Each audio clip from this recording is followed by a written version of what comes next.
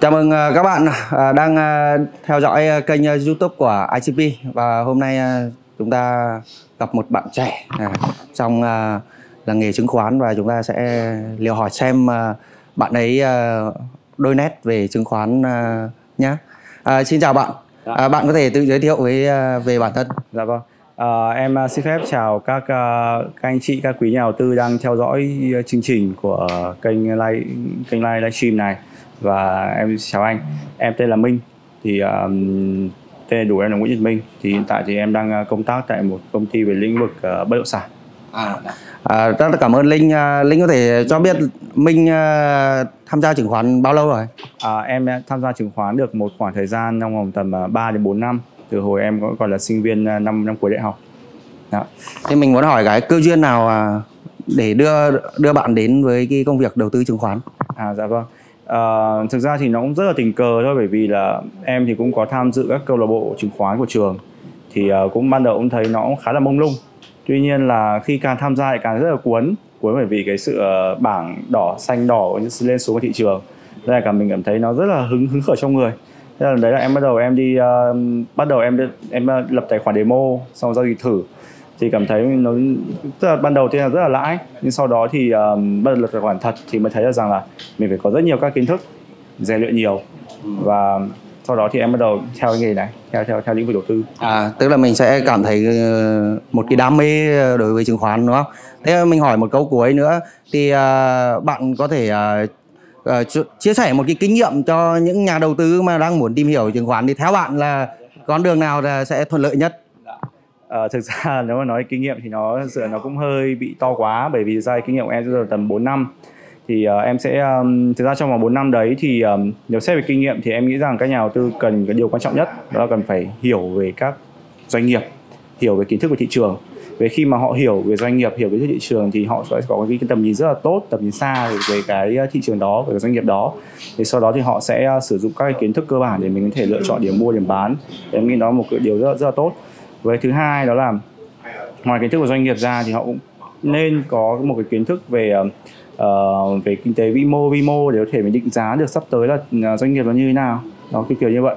Thì em nghĩ là đó điều rất là quan trọng và còn cái cuối cùng đó chính là tâm tâm lý của nhà đầu tư. À, bởi vì ờ, cái này ờ, đầu tư chứng khoán nhiều người nghĩ rằng nó như là một kênh đầu tư khá là cờ bạc.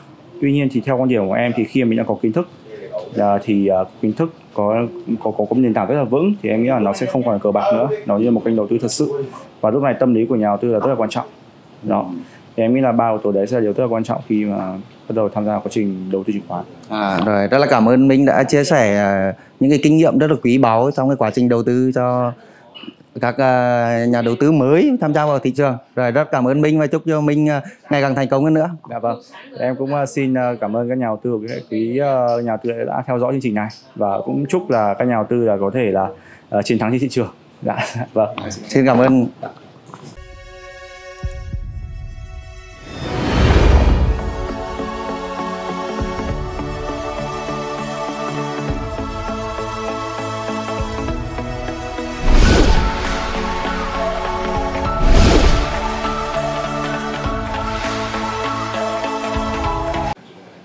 À, xin chào các bạn và chúng ta đang gặp à, một bạn trẻ về chúng ta sẽ hỏi à, bạn đấy nhá.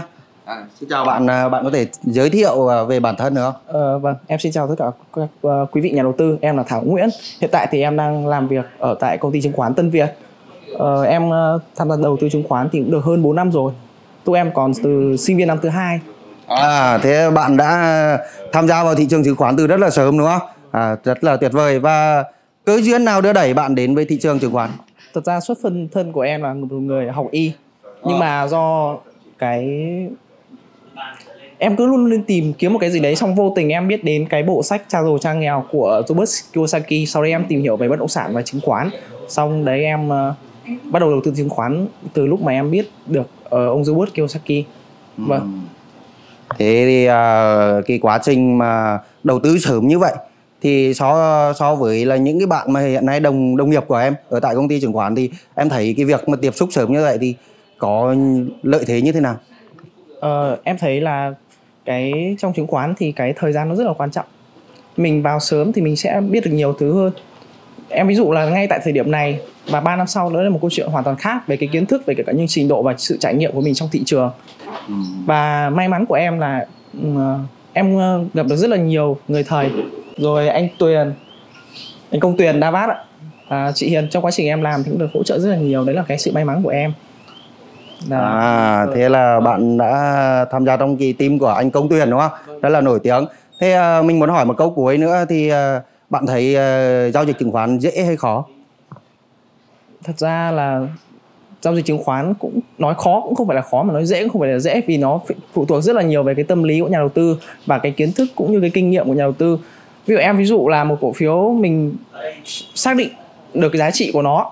Tuy nhiên là khi mà chúng ta nó cũng việc như việc là chúng ta trồng một cái cây giai đoạn đầu thì nó sẽ chưa phát triển được. Và cái tâm lý của nhà đầu tư sẽ giết chết họ bởi vì họ không muốn cho chờ cho cái thời gian cái cây đấy lớn lên mà họ là muốn ăn luôn. Vì vậy họ sẽ bị bán ra trước cái thời điểm mà cái cây đấy nó trưởng thành. Thì cái đấy rất, rất là quan trọng trong cái việc đầu tư đa phần là họ muốn họ nhà các nhà đầu tư là thường muốn ăn nhanh, rất là nhiều người muốn ăn nhanh và cái đấy là cái lòng tham và đã giết chết rất nhiều nhà đầu tư. Trước đây em cũng đã từng như vậy. À. và em cũng đã từng thua lỗ. Nhưng mà đến bây giờ thì mình thấy cái triệt lý cái cây của bạn là rất là hay. À, và rất là ý nghĩa. Thì rất là cảm ơn bạn và chúc cho bạn à, đầu tư à, thành công. Vâng, và thành công hơn nữa trong à, nghề môi giới. Vâng vâng. Cảm ơn anh và cũng kính chúc các nhà đầu tư là tìm kiếm được lợi nhuận trên thị trường chứng khoán ạ vâng. Rồi à, rất cảm ơn mọi người.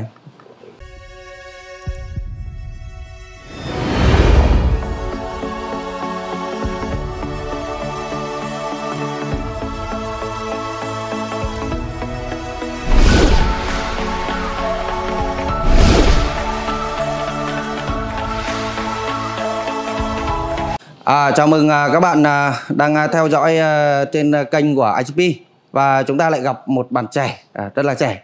À, chúng ta sẽ tìm hiểu bạn trẻ này tên gì và đang làm công việc gì nhé. Xin chào bạn, bạn có thể giới thiệu về bản thân được không? Vâng, xin chào mọi người, chào kênh IGP Group. Thì em là Hùng, hiện tại em đang làm nhân viên chứng khoán cho công ty MB ạ. À, công ty chứng khoán MB. À, chào Hùng và Hùng uh, tham gia chứng khoán lâu chưa? Chứng khoán em tham gia được uh, đến nay là khoảng hơn 4 năm rồi. À, thế là cũng là một người rất là từng trải rồi. Thế uh, cơ duyên nào đưa Hùng đến với uh, thị trường chứng khoán?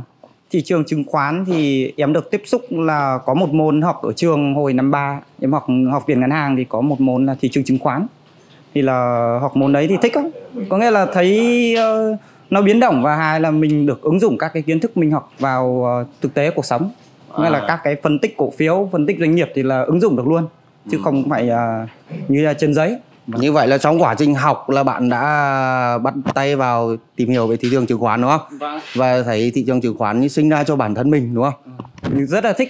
Có nghĩa là hồi đấy là em uh, lên thư viện suốt có nghĩa là tìm hết các sách về chứng khoán đầu sách ấy, đọc cũng khoảng hai ba chục cái đầu sách ấy. Vâng. Thì là cũng cũng càng tìm hiểu càng thấy thích ạ. Thì là vâng. bạn à, đã rất là đam mê đối với chứng khoán rồi. Nhưng mà trên thị trường này người ta thường à, so sánh chứng khoán với cơ bạc. Thì theo bạn giữa chứng khoán và cơ bạc thì khác nhau cái gì?